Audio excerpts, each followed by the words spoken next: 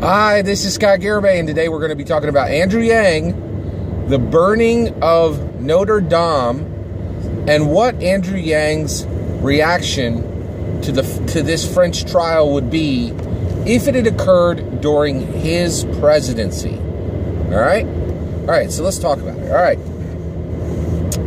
So uh, yesterday, uh, Notre Dame uh, a, a world famous French cathedral in France uh, burned. Like the, you know, I think a very major, significant portion of it just burned. There was huge fire. Uh, it, it, it, got international coverage.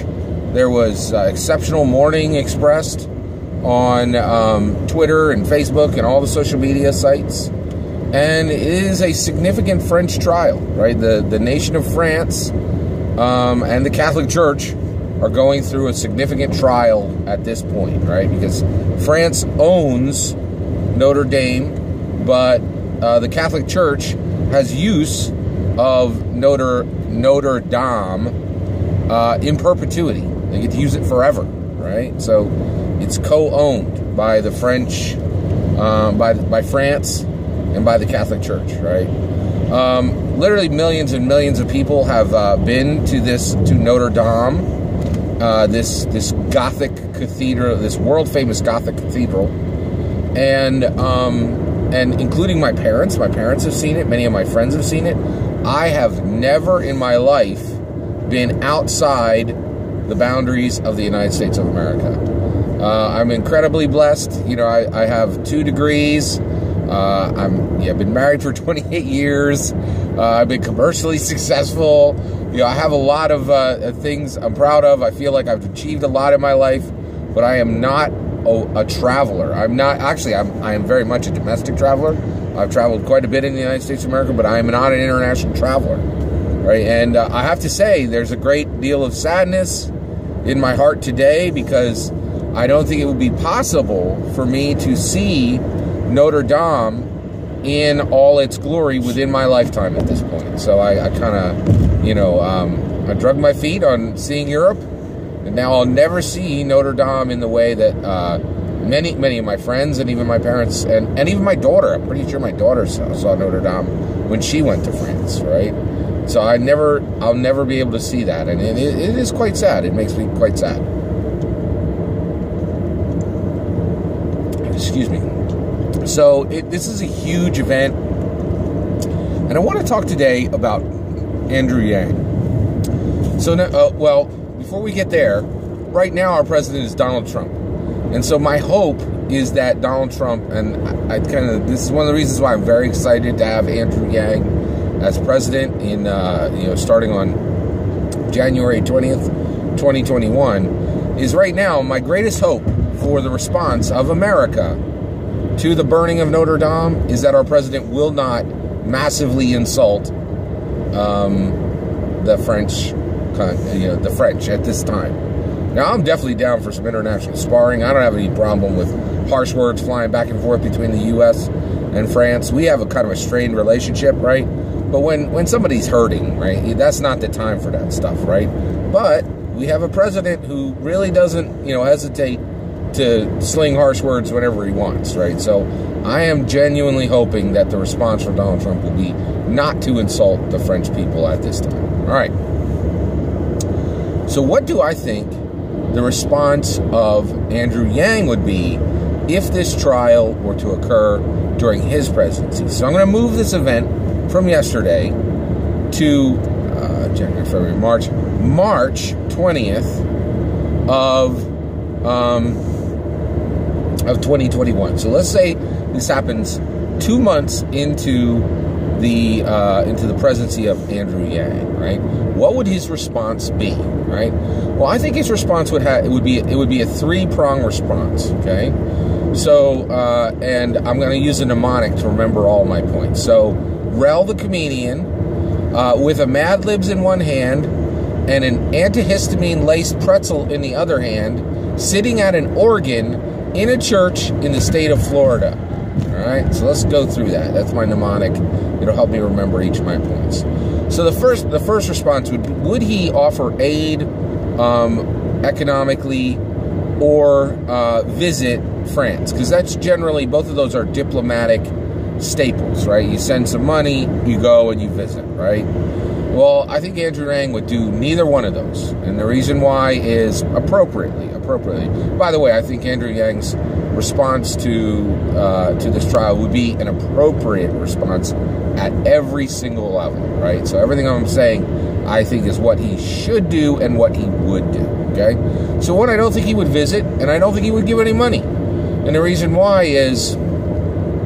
Uh, one, this is a very personal trial. Like, this is a trial specifically for the nation of France and for the Catholic Church, right? And I really don't think, you know, and while we can have sympathy and we can somewhat understand, um, you know, how deep this trial, you know, how deep the wounds of this trial will be, the reality is we, it, it really isn't our trial, right? And so, and the reality is, you know, France, we have had an incredibly strained relationship for easily, I think, since World War II. Now, since World War II, I think we've had a very strained relationship, and it's only gotten more strained recently, right? And and I think the Fran- France looks at America and they really don't like what they see, and they're not they don't hesitate to say that on a regular basis, right? And so uh, I think you know Andrew Yang would would recognize we have a strained relationship and say, let's let them mourn in their own way, in their own time, right? So he would not go. He would also not give financial aid, and the reason why is one, the Catholic Church. So the Catholic Church right now is in the middle of creating a plan to fix the egregious problems they've had previously and also do a nevermore implementation, like so that these egregious issues that they've had will never ever again happen with under under their auspice, right? And you know, and I think right now America giving money in large sums or even in any significant sums, the Catholic Church seems like it's just not a good time to do that right now. Once they're pa- once they get past that Nevermore plan, once they fixed these egregious issues they've had, th- then I think maybe we could do that, right? And then the other issue is you know France with you know us giving money to France. Well, the reality is France is a freestanding nation, and they are not. They are a developed nation, right? And so I think there'd be a point of pride that they would they would fix this problem on their own, right? So I don't think there would be any money spent, and I don't think there would be any any visits, right?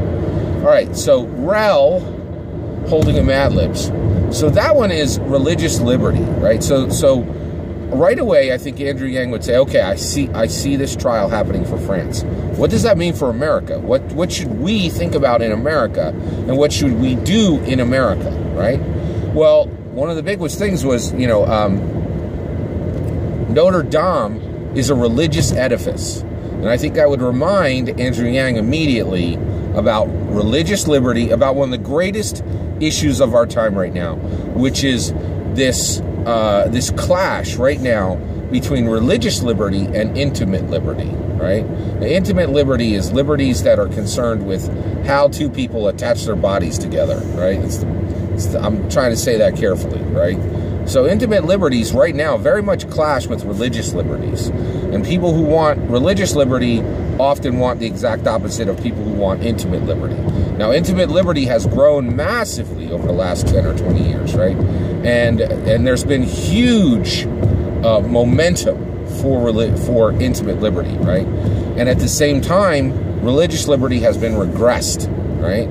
And so I think one of the things is I think Andrew Yang would be reminded of the importance, especially when you think about Notre Dame and how beneficial Notre Dame is to the French nation. He would remember how uh, how important religious liberties are to our nation, and that we founded our nation for religious liberty. And I think it would it would help Andrew Yang remember and think carefully: how do we do both? How do we uh, how do we make sure that the intimate liberties that have already been given, right, stand? You know, unless it, it, under under the laws that they've been established on, under, but that there's no more regression, and maybe even a fixing of regressions that have occurred against religious liberty, right? So I think that'd be the first thing, and so he would give that thought, and then I think he would implement, he would give direction to his administration to have laws restore religious liberties that should be restored or to make sure that no more religious religious liberties are lost right? And the balance is set right, right? Okay. All right. The other one is the antihistamine laced pretzel. That is historic preservation, right? So one of the things is Andrew uh, Andrew Yang, and so again, Andrew Yang would say, okay, French trial. How does America make America better, right? Like you know that that that should be the focus. Like he's our president, right? And so he, he's he's constantly looking at the world. He's yawing his perspective, right? And looking at the world and saying, how do we make our nation better so that our people are better served, right? And I think what he would say is uh, his, is he I think he would move historic preservation forward. So one of the terrible, terrible things with with Notre Dame burning, right, is just this, you know, this incredibly uh, valuable, incredibly inspiring achievement, uh, human achievement. So I think Notre Dame is a human achievement, right? It has all this iconography. Uh, it forwarded, um, it forwarded architecture, uh, masonry, all these. It, it, you know, it, it allowed certain industries to progress, right? So he would, I think he would say, okay, it's important for us as an American, as as Americans, to highlight, right? and improve our historic preservation. So how does he do that, right? As a president, does he say, okay, well, let's give more money to historic preservation in the United States of America? No, absolutely not. That's, that's not the best path. And I think Andrew Yang, as our best president to come, right, he would recognize that, right? And so what would he do? Well, what he would do is he would choose one of the one of the hundreds of amazing, awesome historic preservation organizations that exist I think he could pick like one or two and like one in Lancaster, Pennsylvania, come forward and say, "Tell me about the safety features that you have been." You know, would go. He'd have, you know, and he would he would just announce to the press, "I'm going to Lancaster, Pennsylvania. I'm going to talk to the Historic Preservation Society in Lancaster, and I'm going to and and then he would go, and then he would say, "Tell me about your safety, uh, your safety regulations, and all the processes you use to make the the preservation of historic sites safe, right? So he would expend no dollars, like make, increase no budgets, right? And just point to the already awesome work that's being done in America. And then by highlighting the work of the of, of the, the Lancaster Historic Preservation, it would remind Americans that they have historic preservation societies in their own backyard and that they can volunteer for them, give them money, aid in their projects, right? And then allow, and then they would be allowed, then they, they could allow themselves to move forward with these, you know, with these projects and to do great work. That, that would, uh, you know, that would be really helpful for those specific, um, for those specific organizations and that the historic preservations that was happening within those specific uh, areas that they would be improved, right? So that'd be like a no money solution that would aid the ongoing work that's already happening and then would make not only the historic preservation that happens in those local areas um, continue, but to be done more safely. And then he would be using the power of the press, which would cover this event, to multiply his beneficial action. Right, and that that is a really solid way of doing it. The last thing is uh, is church and state. Okay. Now, what is absolutely fascinating about the religious edifice Notre Dame, right? This Gothic cathedral that exists in France. Um, so, President Emmanuel, French President Emmanuel Macron, right? He has oversight over.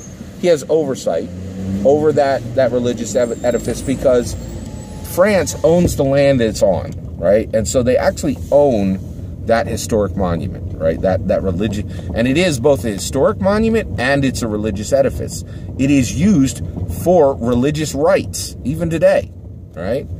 And so one of the things I think Andrew Yang would realize and would really reflect on, and then take action on, and I'll tell you the action he would take, is that while we have this abstract idea that church and state are separate, that is really quite abstract.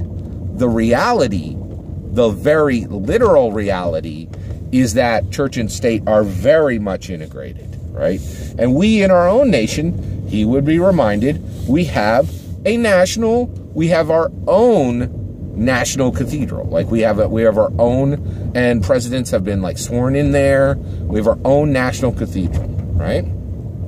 And so I think one of the things that he, that he could do is right away go and visit our own na- national cathedral and remind people that you know religion uh, has played an incredibly important role in America, right? And that while we have these somewhat bitter fights today between the secular world and the religious world, that in America, America owes a, an absolutely massive debt to to religious communities, right?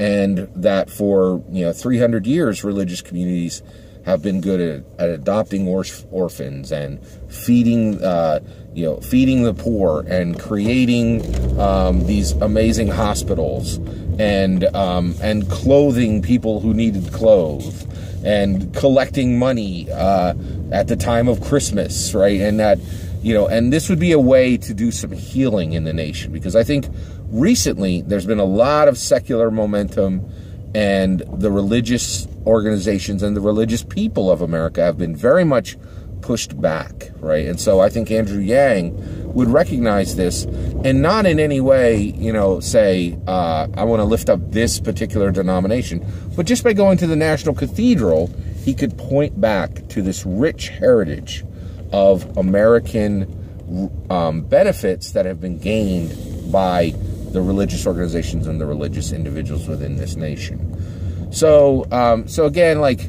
so I think right now my my deepest hope is that Donald Trump, like my my greatest hope is that Donald Trump will simply not massively insult the French people during their time of trial. I really wish, you know, and this is one of the reasons why I'm just so excited to bring Andrew Yang in as president is, you know, it, we should be able to hope more for more from our president, right? But it's just not where we're at right now. And uh, and that is what and and you know what I've just shared. That's what I think Andrew Yang would have done if this same trial, this exact same event, had occurred on March twentieth, twenty twenty one, a day which I am predicting now Andrew Yang will be our United States president. Uh, I will certainly be voting for that. And uh, and I think this is how he would move forward and handle that specific event.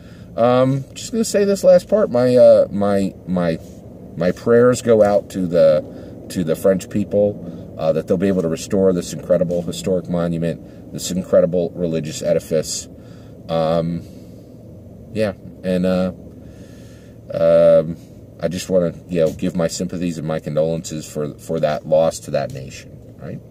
Um, I'd love to know your thoughts on what you think Andrew Yang would do uh, if this event, if this, if the burning of Notre Dame had occurred during his presidency.